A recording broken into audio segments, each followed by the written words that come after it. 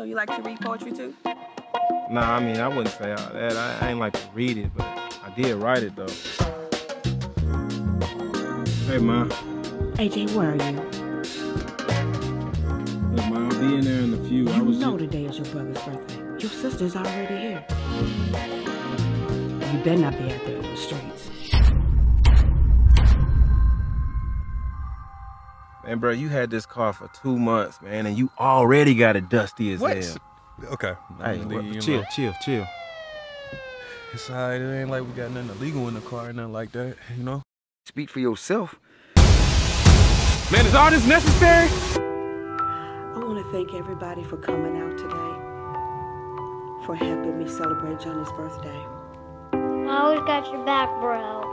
Thankful for the harshest wind. Look, I know you don't like to show your true emotions, but I can tell this hit you different. I don't know what you want from me, alright?